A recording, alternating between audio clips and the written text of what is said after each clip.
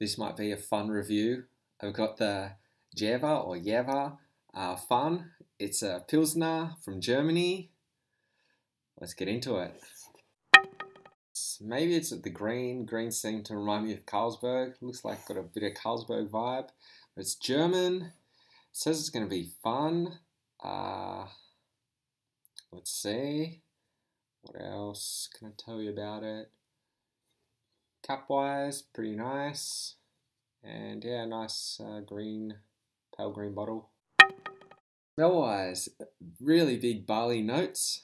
A uh, little bit um, sourness to it, so should have an interesting taste. Wise, don't really need to say anything. This is what you want a beer to look like. You can see bubbles coming up there. Nice and gentle, nice and slow. Nice thick head on top. It's going to make the beer pretty smooth tasting.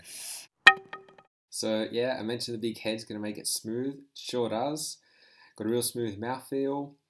Although, I don't know, for some reason, it's got something like aggressive bumbles. You feel like a bit of bite on your mouth. It's pretty interesting, especially seeing it's named a Pilsner. For me, Pilsners will often have uh, the caramelization, a bit of sweetness to it.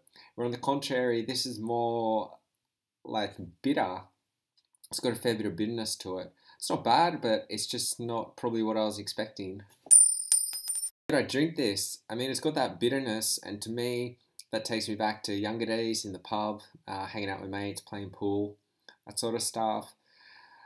In some ways, that means you should, well, I would put this up against some like uh, stronger food, like fattier food, uh, to bite through the fatness, like a schnitzel, something like that.